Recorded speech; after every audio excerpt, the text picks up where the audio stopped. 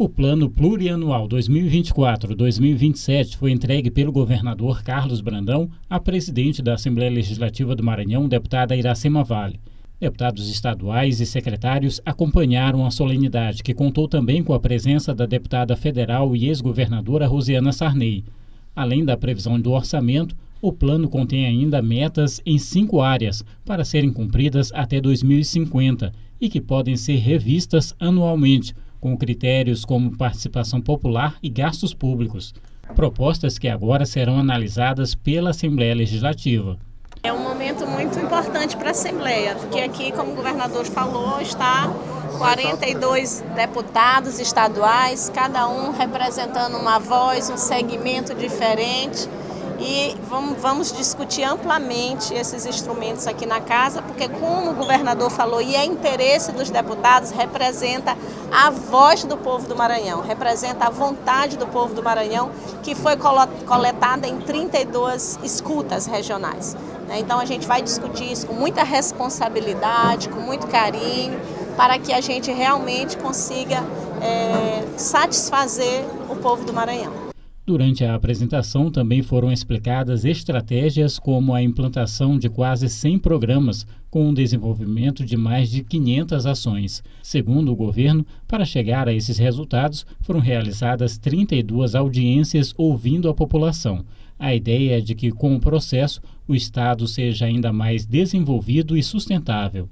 Na realidade, a proposta é uma proposta estruturante para vários anos. Né? É, a gente pensa no Maranhão daqui a 50 anos. A gente entende que isso naturalmente vai, vai ter ajustes com os novos governos que virão, porque cada governador, cada equipe tem um, um, um pensamento, os novos deputados têm também outras ideias, então o orçamento ele é feito um arcabouço, mas isso vai sendo feito os ajustes necessários, até no próprio governo nosso vai sendo feitos os ajustes. O importante é que a gente coletou as demandas da sociedade civil organizada. Isso é que é importante.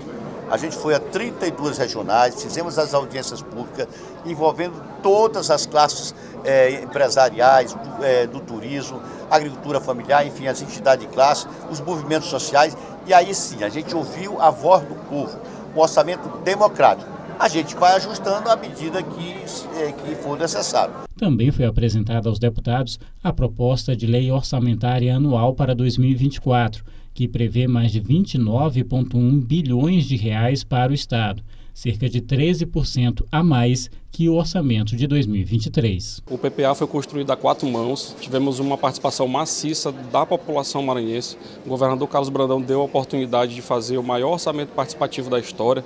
Visitamos presencialmente 32 regiões do estado, escutamos mais de 7 mil maranhenses e tivemos uma votação expressiva de mais de 20 mil pessoas votando e escolhendo quais as prioridades e objetivos para aquela determinada região.